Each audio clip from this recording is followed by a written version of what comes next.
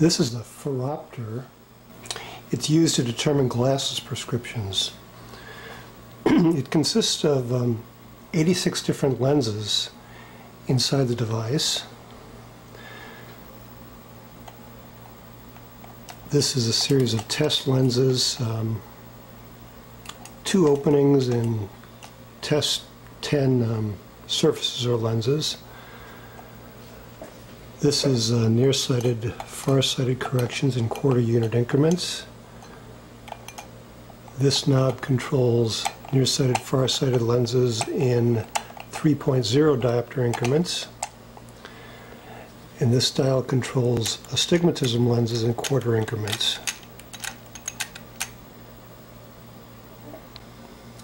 The phoropter typically hangs from a stand inside the exam room. However, I've constructed this stand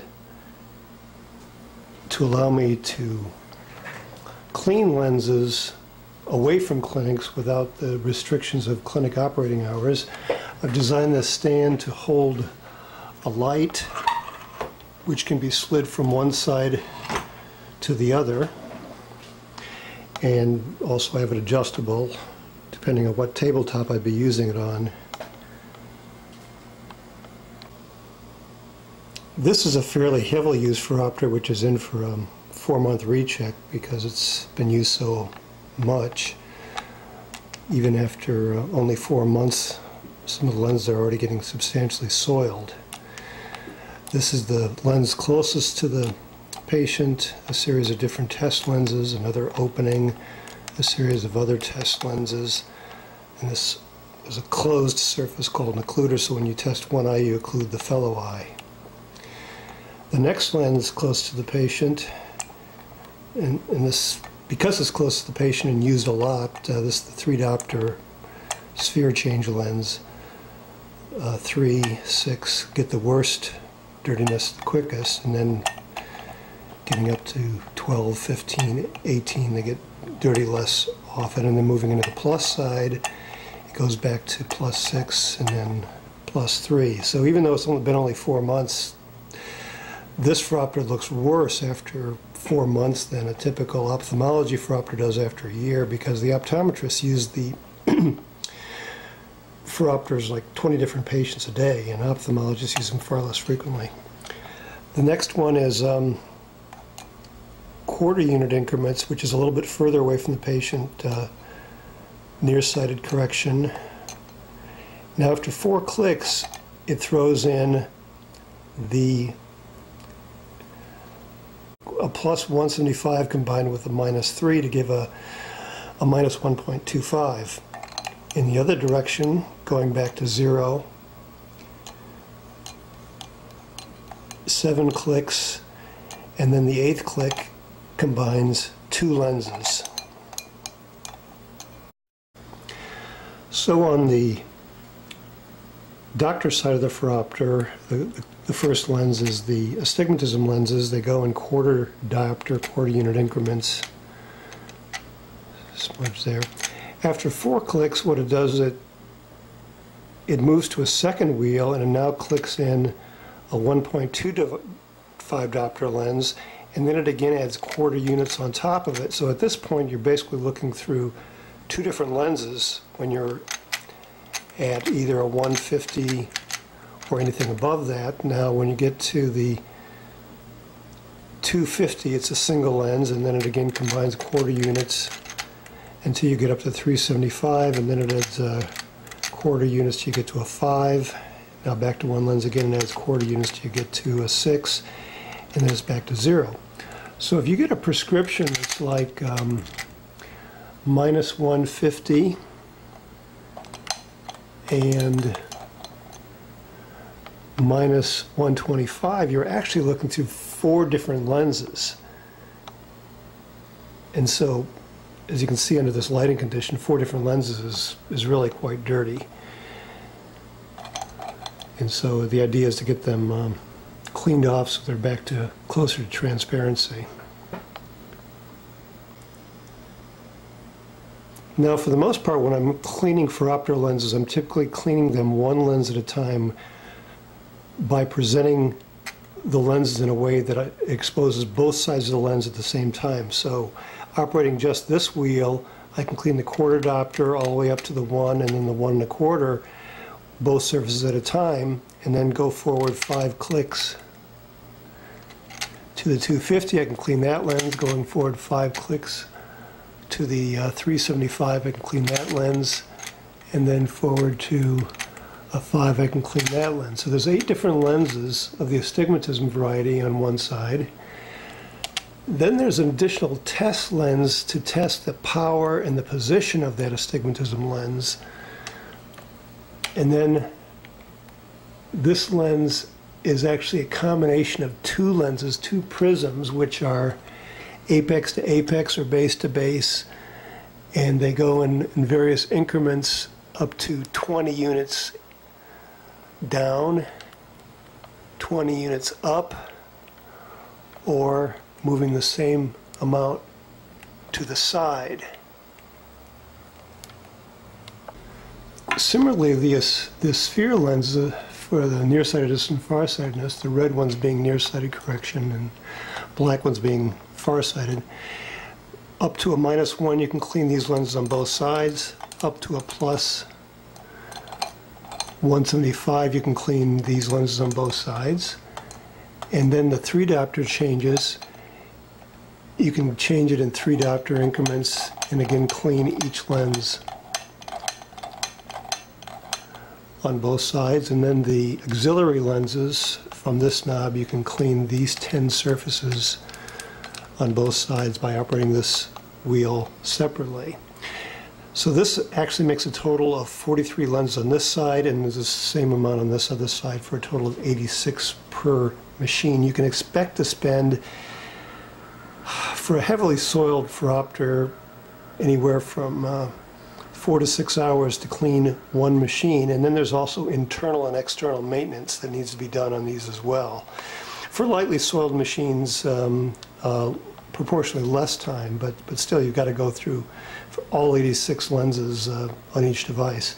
Now actually this lens, you can clean the outside and you can clean the, the, the opposite side, but you can't clean between the two lenses because there's two lenses that are basically in contact with each other. If you get filming between the lenses, this has to be sent into an optical place that can disassemble this unit. This is a synchronized cross cylinder which is the feature's been out for well over 30 years. But when you turn this knob, it turns this lens by a similar amount. Now, one problem with this is as this lubric the lubrication inside this lens mechanism dries out, it gets more and more resistance from moving from one position to another. And then when you flip away the lens, it can cause the, the axis to rotate. And so what I find is necessary to do is to lubricate this internal mechanism so that it moves more freely from one position to another and doesn't cause the axis to dislocate when it's flipped out of position. So that requires some disassembly. After the two retaining screws are removed, you remove the plate label and then there's a spring mechanism. And next is the test lens itself underneath that. And then lubrication I do by actually dripping oil in this space and agitating the mechanism to spread the oil around and get it into the underlying grease so that it's not as dried out and then it tends to be um, more freely operating. This can take like 15 minutes for, for each side to, to get this mechanism properly lubricated.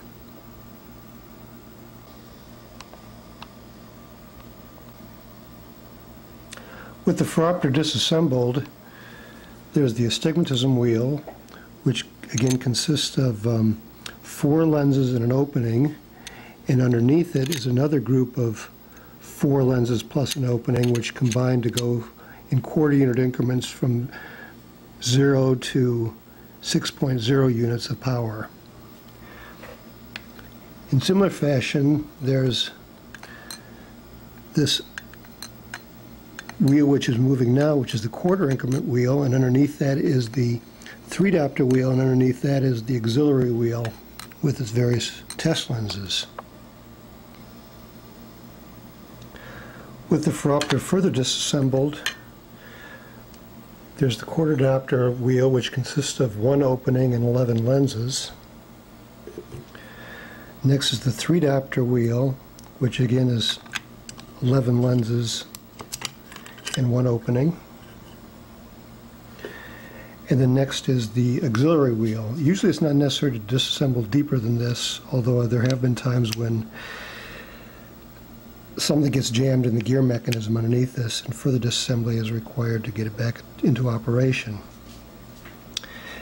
At this point, it's just to make sure that there's no debris inside. Some lenses get filled with lint in less than a year, uh, but it's important to make sure that these wheels are free rolling and not filled with debris, that this mechanism turns easily, and um, it also rotates separately from this this pin. I can't do it with one hand here, but it's to make sure that this mechanism clicks properly apart.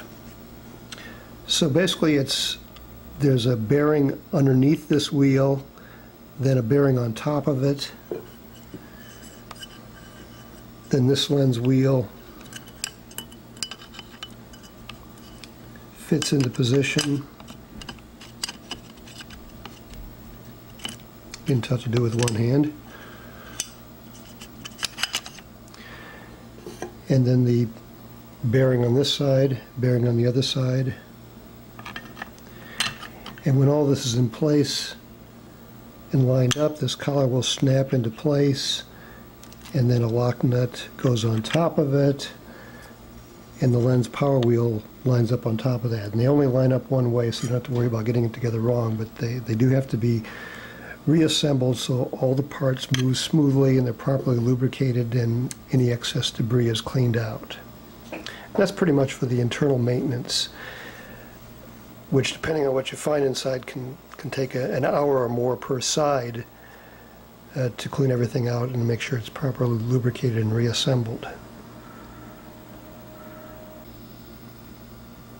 Now the way the phoropter is designed is that the little tips of this mechanism interact with the pin and the two little pegs on the back of this wheel. And every time this wheel goes around 360 degrees, it picks up the edge of this and moves the underlying wheel forward by one increment. And then the next time around, the same thing happens. The pins pick it up and move this forward by one increment. Then when you go in the opposite direction, just the opposite happens. And so the device automatically moves forward in quarter unit increments by combining the lens powers of these two power lens power wheels. So now with the power wheels reassembled, you can see as it advances, it then clicks both wheels simultaneously at this point between, which is actually the 1.0 of minus and the 1.25 of minus. And the same process continues until it goes around again. And again combines the lenses. It keeps going in quarter unit increments until it gets all the way to the end.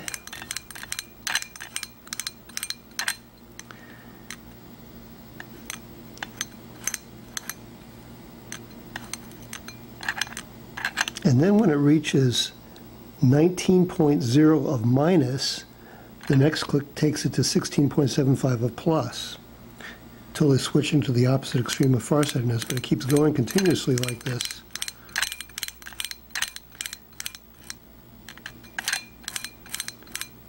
Until you eventually get back to zero.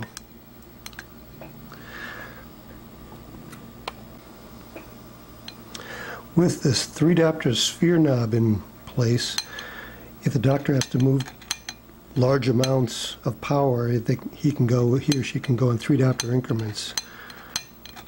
Whether to put in the power or remove the power that's already there, it's not necessary to go in quarter unit increments all the way from beginning to end. In similar fashion, the astigmatism lenses are controlled by five little pins, four of them short and one of them longer. Here's the longer pin. When the longer pin interacts with it, it actually moves both wheels together. And when the shorter pins interact with the mechanism, it advances just a quarter unit lens one at a time. And then again, both wheels move every, every fifth click. Uh, on one case, the, um, the longer pin popped out of one of the phoropters about a year ago, and the device wouldn't work anymore. It could only go from um, zero to one instead of zero to six. And so, um, which is why it was a, I had previously set the clinic up to have a spare phoropter on location. They were able to immediately swap the uh, device with a functional one to get the exam room working immediately.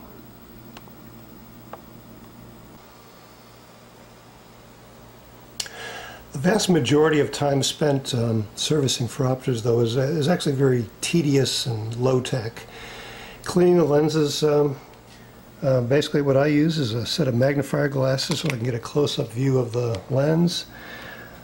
Um, basically, Q-tips, a dish to hold some lens cleaning solution, and dip the Q-tip in there, wipe the lens, dry it with the other side, then do the other side of the lens, and then I find out, well, it's not that clean, and I start over again, grab another Q-tip, and keep going until I, am satisfied that that lens is clean. When that one's clean, move on to the next lens, and then, you know, go through the whole sequence of lenses until the entire phoropter is finished. And then go back from the start and see if the lenses now have developed any film, because you think they're dry, you think they're clear, you move on to the next lens, but when you go back later, you find that, the lens is dried off the rest of the way, and now there's a residual film, you need to re-clean it in, in some cases. So um, it's, a, it's a long, tedious process, which is many hours on end per phoropter very often. And that, that basically concludes our tour of, of how to um, how I go about servicing um, phoropters for Kaiser.